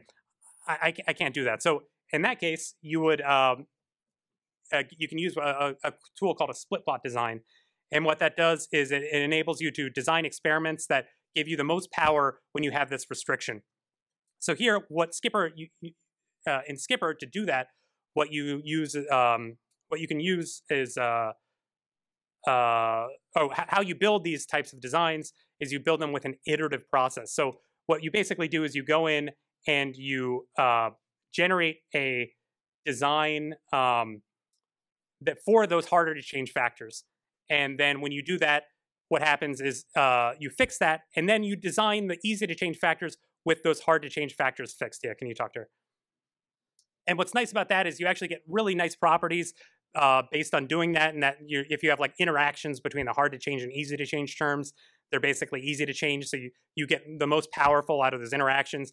Um, the only downside is you get lower power because you effectively, in this case, we generated eight different blocks, whole plots for this uh, for this uh, uh, hard to change term. So really, you, you kind of only have eight runs. So even though here, so we generate um, our hard to change design first, and then oh, and then we feed that into the uh, into gen_design again as the split plot factor. And then we say uh, 64 trials. And what skpr then does is it takes those and then tries to create a balanced design for all of those split plot factors. So we see here then it creates designs of eight runs. So basically what we're doing here is we're, we're, um, we're just creating in layers. These We first start off with the hard to change design, and then we fix those in place and we replicate to our number of whole uh, split plots or, or subplots, and we generate our easy to change factors with those fixed. And uh, this ends up with this sort of, um, and we can do this any number of times. So we can create a split plot design with one hard to change factor, or we can uh, feed uh, a split plot design to this again, and then get a split split plot design. And you can do this for whatever, if you have, you know, hard to change, very hard to change, easy to change, medium to change. Um, so that's the really flexible thing about skpr's is, that this, interface allows you to do those things um, uh, pretty easily. And uh, here we've also added um, a blocking columns just so you can more easily see the split plot structure. So we see here, this is all one block. So here is our first block, all in the urban environment. And then we have the second block here. And that continues down. And we see they're blocks of eight because eight, uh, we had eight uh, whole plots and we had 64 runs, so that divides evenly, so we get nice even splits. But you can also manually specify if, let's say, and we see here this is the actual design. Um, so it's not completely balanced, but you know, it's it's uh, to evaluate this, we'd really want to use power. And uh, if we we can also though, let's say oftentimes we'll have some weird restriction on our blocking run. Sometimes you can't have that perfectly even split, or you know you can do like six runs here, eight runs here, 12 runs here in groups of those numbers. You can actually specify and generate a design with that weird restriction on uh, on the block sizes by manually specifying here. So here it no longer just tries to allocate them perfectly among those 64 runs. Uh, here we can see that we have a first block of size 4, a second block of size 4, then we have this third big block of size 12. So if you have some reason where you know some blocks cost more than others, uh, that you you could account for that by manually specifying those. Yes. So to incorporate blocking, you need to have, turn on the split plot design feature. So you need to generate a design, like a hard, just design for your hard to change factors, and then you yeah, and then you pass that into this split plot design argument. So the actual design you're passing into it. And what it does is it looks at it, it's like, okay, you want to fix these factors in place. Your new your new run has you know 64 runs. That means your your split plot design has eight. We have 64 runs. We're going to allocate that you know eight runs per block, and then it'll generate a design with those fixed in place. So that that's how you can account for that structure. So finally, so that's one uh, place where blocking happens. Um, we also have uh, blocking in design augmentation design augmentation is, is sort of the next topic. So we have split plot designs, and what that does is it accounts for that sort of nested structure. Design augmentation is sort of the other thing. So I mentioned earlier there's alias optimal designs. Um, and what that is, is you, you run like a first design, and then you follow that up with a, a follow-up design for just the factors of interest. In that case, you often have blocking as well because you don't want to throw out that previous test because you're running the test on the same factors. So what you, instead you do is you treat that as one big block, and then you use that as information as well when you're analyzing your data for the second block to generate a design. Uh, uh, you, you, could do two things. You could either run that screening experiment, throw away all that information, and then generate a design like completely independently of it. That's one way of doing it. Or what skpr allows you to do with the augment design interface is take that previous design's information and then generate your new design that it takes into account that previous block of information, uh, that those previous runs. And so then it generates new runs no, with the knowledge that, uh, with the information that you you know, had a bunch of test points throughout the space prior. It allows you to, to take into account that previous information, um, which can be good because sometimes that can save on test resources because you can you know do fewer runs if you take into account the previous information. And sometimes if you then you know are, are fitting your model, you might choose slightly different points um, rather than generating a new uh, uh, a new design completely independently because you already have some information at certain points. So the design generation uh, feature allows you to do that. Or sorry, design uh, augmentation. And the interface is very similar to the split plot design. You just feed the previous design, and instead of fitting just uh, setting those columns, it just basically sets that block of runs ahead of time, and then you regenerate the rest of them below that. Um, so that's all design augmentation is. Just say, hey, I had a, this previous experiment. I'm going to use it when I analyze your, my final data. But obviously, since I ran this in two very independent testing units, um, I have to account for the fact that you know those would be correlated, uh, and and you can do that with a design augmentation. So here is just the uh, a visual representation. So we have our individual environments, and then we vary everything else in between. And each one of those environments, the the runs because you run them, they're not randomized. There could be some correlation. So the split plot structure allows you to account for that correlation. Um, and yeah, this is just a visual representation of what skpr is doing. We have each one of these blocks, and you can see that we fix those, then we duplicate those for those uh, target environments. I should be pointing here. Uh, and then we also then uh, then generate all these random uh, these randomized terms within that. So these are all you know randomly uh, structured, which is then you you get the most power out of that. Uh, so okay, I explained all those. Zoom questions, great. So finally, okay, uh, which is, is, great timing because this is about half an hour before the end. Um, we also have evaluating. So I, I talked basically all these ways about uh, generating um, generating designs. Uh, actually, let me just make sure I didn't. Yeah, that, that's that's fine. There, there might be a little bit more on um, basically. So all I say at the end of that presentation, uh, at the end of that document, I, I believe is uh, you we we talked about these you know sort of optimality criteria and everything we use to kind of look at the design quality. However, uh, a design that's optimal is not necessarily adequate for your purpose. To judge adequacy, you need to look at experimental power or some of these other some other like correlation uh, or depending on your experimental goal. But in this case, uh, power is by far the best way to evaluate whether your design is adequate because the optimality is just a mathematical uh, trait of the design itself, but um, it doesn't mean that it's sufficient to support your test goals, your testing goals. So let me um, go. What exactly do I mean by statistical power? Uh, so it's the probability that you will actually find an effect if one exists. Um, so let's say here uh, we have a radar that completely random example detects balloons in your airspace. Um, so let's say a type 1 error here would be you saying uh, it would be a false positive and saying that, yes, you know, our radar indicates incoming balloons when none actually exist.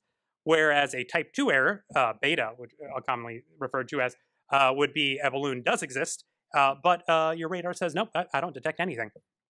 Now, um, power is 1 minus beta. So basically, the more powerful you are, the less likely you are to make this type 2 error, the more likely you are to detect the balloon if it does exist. So we want to have very powerful tests because if there is an effect, we want to be able to see it. Um, so there's a couple different inputs that affect power. Uh, first of all, we have design size. You have more runs. Generally speaking, you have more power. Um, you have more looks at the uh, and more data to test your hypothesis. Um, you also have design quality. This is the difference between two darts versus 18 darts and 10 versus 10. Uh, the, and this is all that gen_design really does for you. Is it uh, a better, more optimal design will often have better power uh, than a poorly designed test. Um, so that's what gen_design allows you to do. It, it gives you designs that are hopefully the best quality that you can achieve. Also, type 1 error rate also influences your power. So if you're more willing to accept a false positive, you are more likely to see when a positive actually does exist. Um, it's just a different type of risk, but uh, if you're saying like, yeah, you know, I'm willing to accept 20% of the time that I say something's you know uh, uh, positive when it's not, you're going to capture more times where it actually you know is positive and and you detected it. Your effect size. So this is the equivalent for this example of uh, having a a small effect size would be having a very small balloon. So you're trying to detect something with a very small radar cross section versus something with a very large radar cross uh, cross section. So your effect size also uh, changes your ability to detect an effect, um, and uh, and larger effect sizes are easier to detect and have higher power. Um, or when you design a test around a larger larger effect size, it, you have more power to detect that than versus a smaller. And then finally, and this is the part I really want to emphasize in this talk, is your analysis method really matters. Um, so this is uh, something that I also don't think is talked enough when we discuss power. But the specific method you actually use to analyze your power can may have dramatic effects on your power values. So here we have a, a concrete example. So um, we have a test. This is a, a, binomial exact test versus a logistic regression. Both of them evaluate a binomial response. In this case, we have a very simple test. It's just two uh, a two-level factor, which you can analyze with a binomial exact test or a logistic regression. Um, and uh, the issue would be if, let's say, you used a binomial exact test to size your your actual test, because you know it, it has a nice closed form solution. It's easy. It's like a single function. You don't have to do simulations. But then you actually used a logistic regression for binomial the binomial exact test. You have adequate power at 15 runs. At 15 runs, if you use a logistic regression, you have zero power, none, um, or you know 0.5 or 0.05, like nothing. Um, because in this case, you're encountering that issue of, of uh, separation we, we saw in the GUI and you have you're not even you don't even have your type 2 error rate your, your model doesn't fit the majority of the time you to get adequate power with logistic regression you need 110 runs. That's almost you know that, that's like a, a factor of eight more runs. That that that, that is incredibly uh, either you would be incredibly overpowering your test and wasting lots of resources or incredibly underpowering it and losing nothing. And either way you're losing a lot of money because you're running this big test and learning nothing. Or or you are running it a lot and you're just wasting a lot of resources. So making sure that you match your analysis methods to your power analysis is super important because they can have vastly different values depending on what you choose. And skpr makes this super easy uh, because you don't have to, this is this is an eye chart. You, you don't have to memorize this um, because skpr actually tells you when you analyze your data with the eval_design interface which analysis methods you should be using, not only in the GUI but also in code. But depending on your input. So let's say you're doing your you, you evaluate power using the eval_design. That, that's assuming a normal response. And depending on whether you're blocking or not blocking, it's assuming that when you analyze the data, you are going to be using the equivalent of one of these functions. Like that is what those power values are valid for. Um, and so we, we talked about the statistical criteria. They're, they're all independent of your analysis method. So you don't have to worry about that when you're generating your design, but when you're evaluating it, it it's super important. So here we have uh, eval_design_mc, which gives you more ability to uh, look at uh, nonlinear responses such as logistic regression or Poisson regression or exponential regression. And here this is just showing you, and, and with logistic regression, you can also do something called a Firth correction. So this just shows you all the various different things you would actually have to, you know, analyze your data with and what it's assuming you're doing when you hit that button that says, or set that setting that says, yes, do a Firth correction. That means you're no longer fitting it with, you know, GLM, you're fitting it with GLM and you have to specify the method specifically uh, to, to this method. So linking your uh, your power analysis really is is a two for one deal. It's effectively an analysis plan that shows you, that tells you how you're going to analyze your data uh, and, and what that power value is good for. Uh, so, but this this is all just printed out in, in skpr. Although it's not printed out here because this is an older output, but it, it's printed out below that. You'll see that in the code. So uh, the eval_design interface, so this is the parametric power calculation. It's very similar to what you do in JMP um, and should output the exact same thing. You again, now instead of a candidate set, you're specifying your design. Eh, you, also specify model and you have your alpha. So you feed that into and output is power. Um, so let's jump over, hopefully this will go well this time, to the code. So let me go to uh, evaluating experimental designs. Okay, so here uh, we're, we're starting off again. We just load our library. So this is you can run this independently on your own as well. Um, we just specify some contrast here. This is we're running some models a little bit later on, and, and, basically just it's a way of specifying how you encode your dummy variables.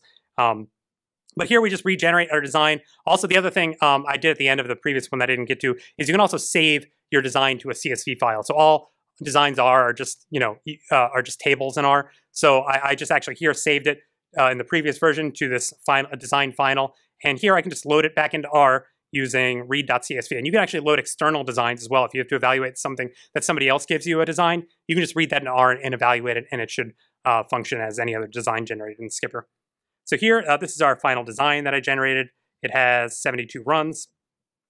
And so let's say we want to do like a simple analysis like we did in JMP. Um, we can do a val design and we specify our model with all quadratic effects. Here we're saying we want to test a 95% confidence, so we set our alpha to 0.5 and an effect size of 2. Uh, so we do that, and we see here we actually don't have adequate power. We don't have 80% power in, in many terms. Um, so we want to, uh, you know, increase, let's say, or we want to achieve 80% power. So this design is not adequate. Um, so here uh, we have uh, we have our effect size and alpha. Let me just actually run back to. So for effect size for us, we're going to be talking about uh, our NIIRS rating. Um, so for oftentimes in, in, in both JMP and skpr, what you do is you specify in terms of signal to noise ratio. So the noise in this case would be the expected run to run variation. So let's say you expected a noise value of one. So this is fake data that I just made myself. So it's the capital. This is a SAR image. But let's say we expect on a run to run basis, we get about a, vari- a variation of one point. But we want to detect, um, in this case, we could say our SNR is two is what we want to detect, which is we want to detect when it changes by, you know, a, this amount of resolution. But for other, um, and that would be a significant effect. Or let's say we are actually interested in one, so we don't want to do the SNR of two, but we want to actually detect when it decreases by, you know, one point. Um, so that that's the linear mo model. But for let's say non-linear models like uh, uh, logistic regression or generalized linear models, in that case, you'll often have you specify in terms of like odds ratios or probabilities. Or there's other ways, and skpr allows you to specify those in terms of the actual, you know, probabilities or the actual event rates or things like that. So you don't have to kind of do that weird translation on your own. So here we have, um, that, that's just the sort of example for there.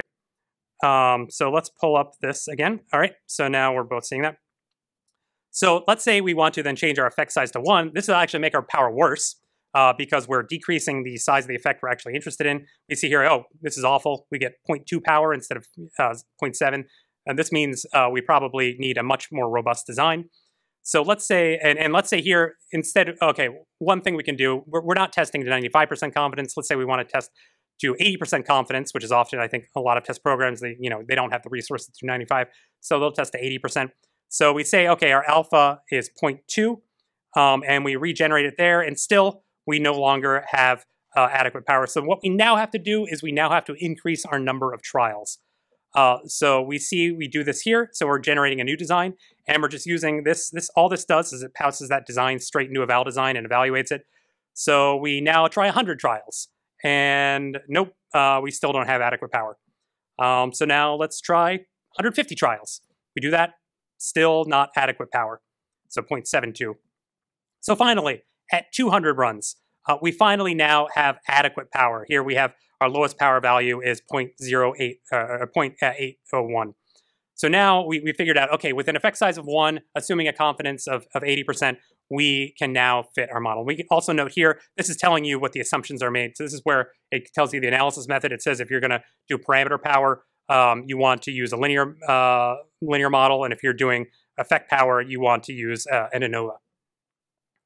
Um, we can also include blocking terms. Um, so this is if you're doing a split plot design. It should do this automatically if you generate within skpr, but if you're generating, pulling a design outside of skpr, uh, like from JMP, uh, you have to set blocking is equal to true. And what that'll do is that'll account for that blocking structure when generating our power. So when you do that, um, so we did that with the target environment. So we see here, um, we generated this uh, power for the split plot design with 200 runs.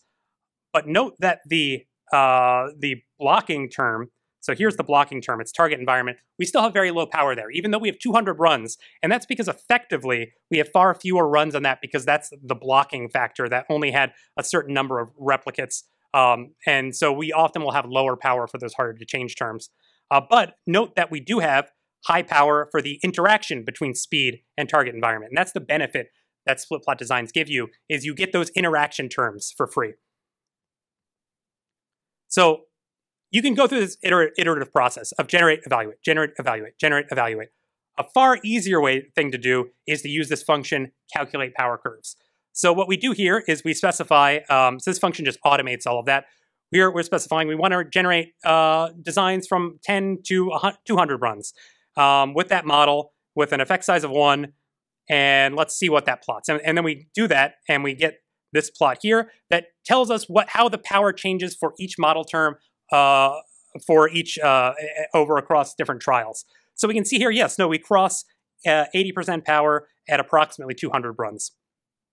Um, and uh, this just allows you to get a really good uh, idea of sort of the trade space. So you can see here, we also have lots of model terms that um, cross 80% power around 90 runs. So let's say we weren't interested in those other model terms. You could say, okay, you know, we're actually going to remove those terms from the model that take a lot of time because maybe we're not interested in quadratic effects. So you remove those and, and then you recalculate the power curves, and oftentimes you'll see that go down. In fact, here I did that. Um, I went in and removed the quadratic terms, um, and we see here, uh, instead of 200 runs, now all of the, uh, we get adequate power at about 80% um, at about 120 runs. So just by moving that and recalculating that, now we can say like, okay, well, here's the new trades, here's the new minimally adequate design, and you don't have to play around and you know hit a bunch of buttons to go through uh, and do this manually. Um, so uh, here's where I sort of run through. So you can kind of look on this. Basically, when we actually analyze the data, um, we uh, you know we'll have some sort of results that we'll then throw into uh, like the y variable for a response for the design, and we'll get some sort of p values out of it. Um, so here, uh, one thing that's important to do when you actually analyze the data is you want to normalize your continuous factors. Now, skpr provides a helper function to do this, and the reason you want to normalize your factors is so this is for a design with 90 runs. This is the correlation matrix without normalization. So this is the how, amount, uh, how much each uh, term is correlated with other terms, um, which is a lot. We see here it's very high. But when we standardize them to be uh, negative one to one, what happens is this is the new correlation structure. So if you don't normalize your factors, you could actually be seeing correlation that you uh, uh, that is not actually there. So that's that's something important when you're actually analyzing your data that you want to do. Um, so you should always normalize your design, but skpr does this for you when you're actually analyzing the data. So this is what your design matrix would actually end up looking like um, when you actually run through it. It's uh, if you had some here, we're generating some fake results. So we have some NIIRS scores of like 3.4, 3.7, and these are just random. So this is uh, the null hypothesis. We're basically saying this is just random noise. So if none of the effects had any, our system was perfect, and none of these uh, effects had any sort of effect on our NIIRS score, this is just noise. So if we, let's say, tried to fit this, um, so we did this with, the, this is the linear model function, and get the p-values, this is the kind of output that would result. Um, we would get, you know, some list of our terms with our p-values, and here we see that we actually have, considering we're going to 80% confidence, that means any p-values below 0.2 we're calling significant. So we see here we actually do have some significant terms, even though we generated this data with pure noise. Um, there's no effect from any term. And, and that is because we set our alpha to 0.2. Um, and we can actually confirm this. Um, so uh, uh, by rerunning the simulation over and over and over again, and we'll see when we do that, which is what we do. So this is just some other, we see the same thing with effect power. We see some terms are significant. So when we, um, and, oh, and, and yeah, the other thing, uh, so effect power, there's two different types of effect power. You can, you can fit an ANOVA or do a likelihood ratio test. Statisticians love likelihood ratio tests. Um, so they do that often, but there's just two different ways of basically saying, is that model term active? Um, and effect power is really good if you don't actually care about, let's say, individual uh, factor levels. You just want to tell if a term is significant or not. They're usually more powerful than fitting a regression model. However, they are um, they, they, don't give you that information, that same fidelity. Um, so I'm not so I, I recommend going through this. Basically, I run through a simulation of actually going through and simulating a bunch of random data um, over and over again, and and with and seeing like confirming that here we see that uh, when we run fit random data over and over again, this design 20% of the time, each one of these terms is significant, and that's because we set our alpha to 0.2. But if let's say we actually activate some of these effects, so here instead of just generating a uh, a random noise, I actually said, hey, depending on the design, shift the NIIRS score a little bit. If it's high altitude, shift it high. If it's low altitude, shift it low basically saying we actually do have an effect. The null hypothesis is false. So let's say I run that simulation, which we see down here. This is just running, looping through this, simulating results with uh, random results, and then fitting it each time. We actually see that we get some value, some, some number here, 0.706. Um, and that actually corresponds exactly to the parametric power calculation. Because what we did here by randomly generating values over and over again and testing to see if they're significant is actually the definition of power. We are doing a Monte Carlo simulation that tests to see if something is significant when it actually is. So these values here, we see um, uh, 0.706, 0.99, because we activated here altitude speed and the interaction between speed and altitude. We see we have altitude speed and the interaction between speed and altitude, and those corresponding pretty much within uh, an element of noise to the parametric values. And that's because Monte Carlo simulations are really the, the closest to truth we can get to calculating what the power is for a particular model.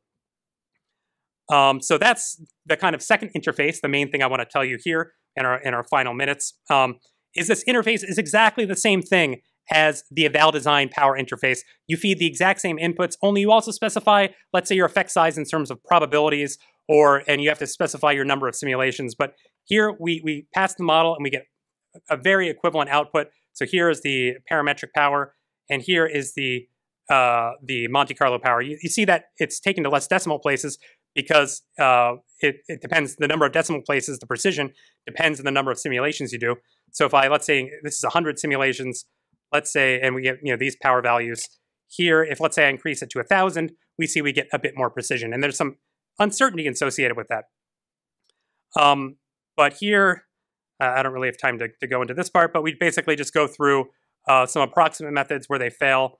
Um, just read this on your own. It's, it's some details. But um, the important thing is that, uh, and I'm going to skip ahead. So you can specify your binomial effect size. So let's say you're testing a program, you want to test between that 90 and 50% effect size. Here, you just specify, you know, I want to test between 50 and 90%. And now it'll set up that simulation for you. And the other big thing, so this Monte Carlo interface uh, is very robust. You, you can do lots of different types of regression. The one thing you want to check, and this is something that it can it can help you find, is you want to check your type 1 error inflation. So I mentioned that likelihood ratio test earlier. Um, if let's say you were you were given the tasking of finding like the minimally adequate test design for you know absolute minimum, so you you could have full reign over number of runs, analysis methods, everything. And let's say you found that you uh, with a plain main effects model, it took you six runs. Anything less than that, you couldn't even fit the model. So you did that, and then you discovered when you were playing around the vari options in skpr that if you turned effect ANOVA, so you used the likelihood ratio test for effect power, you found that uh, you actually had really good power with uh, speed and mode. And you might be like, wow, that, that's great. I, I have adequate power in six runs. Um, however, uh, one thing that you should always check when you're doing these simulations, and skpr makes it super easy to only detect it, not only detect it, but also account for it, is for type 1 error inflation. So for block designs, for really low numbers of runs, sometimes you have the issue where you specify your type 1 error rate, but it's not your actual type 1 error rate because you're, you're some approximation that the software is making, not skpr, but like your linear model fails at that low number of runs, or when you have blocking. So here uh, we see that when we uh, do the ANOVA, so not the likelihood ratio test, and we do the simulation over and over again, we do get our 20% alpha, so that's good. But if we do a likelihood ratio test, we see our alpha, which put, should be 0.2, is actually 0.67, which means we are making a false positive rate three times the rate that we would normally consider. Now, skpr makes it really simple, and um, and here I've plotted this actually over time. You can see that at low sample sizes, this is with no effect size, um, or zero, uh, we see that this is actually uh, a, a, very high. So this, is, this, should, this should just be a flat line like we see in the parameter power. So skpr makes it really easy to do this and account for this. All you have to do is set uh, adjust alpha inflation is equal to true, and it will automatically account for that and adjust for that increased type 1 error rate.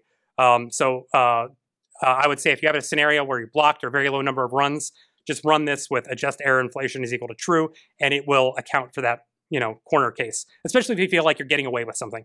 Um, that if you feel like this is something's too good to be true, that will actually adjust for it. So, um, so let's just put together. Sorry, I'm rushing through this a little bit. The Zoom thing threw off my timing. But well, let's say we run through a final analysis. Here we have 30 to 360 runs. We have effect size. We have two different effect sizes.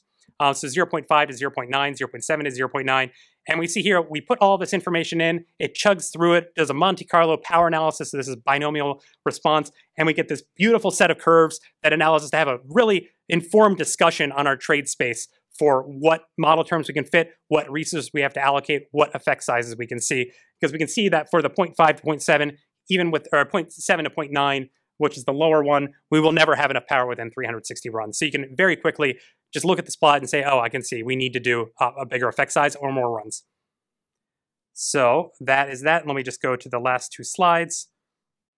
So finally, um, let me go to, oh, and the other thing about uh, Monte Carlo designs is they're really important because as we see here, the, the area where, pale, uh, or where power is most likely to fail is at low number of runs. Um, and that is where approximations, so if you have approximate methods for computing, like uh, logistic regression using like an approximate SNR method, those lower number of runs is where those methods often fail, and that's where power is most important. You know, you if when you're right on the edge of something being adequate or not, that's those scenarios is where you really want to make sure that your methods are computing it correctly, which is what Monte Carlo techniques can do. Um, so finally, uh, so here's a little checklist I'm, I'm giving you. If you're uh, as you go through your DOE process, first determine what your experimental goal is, whether you're interested in prediction, characterization, screening. Um, if you have a complicated design space, make sure, see if it can be more balanced if you have more points. Play around with that, look at the design space, plot that out. Generate power curves. That can be an extremely powerful tool for both the discussion and to let you know what is an adequate design. Always use Monte Carlo methods if you can, because they give you the, the closest link between your analysis methods and your final uh, and your power analysis. So if you want the best analytical basis for your power methods, use those. And once you have your power estimates, always run it first with the effect size is equal to zero, or with uh, or make sure to uh, adjust the for type one error inflation because that can often lead to inflated error results. And finally, the biggest thing, if I take away one thing from this talk, always make sure that the assumptions that go into your power analysis are matched by your uh, when you actually do your analysis because that can have such a dramatic effect on your power and, and, and your, the adequacy and uh, of your final results that it's just something uh, I, I, think is really important. And, and skpr makes it really easy to do that by giving you that information uh, during the power analysis portion. So um, here's some links. Uh, if you want to download R, R Studio, um, there's a book, R for Data Science, lots of great information about R. skpr has a GitHub. You can look at the code, download the latest versions from there. It's also on CRAN. Workshop materials, and there's a great paper in the Journal of Statistical Software that goes all into detail about what uh, what you can um, the, the, the details and the statistics and, and, and everything that goes into it. So thank you so much. Thank you. Thank you.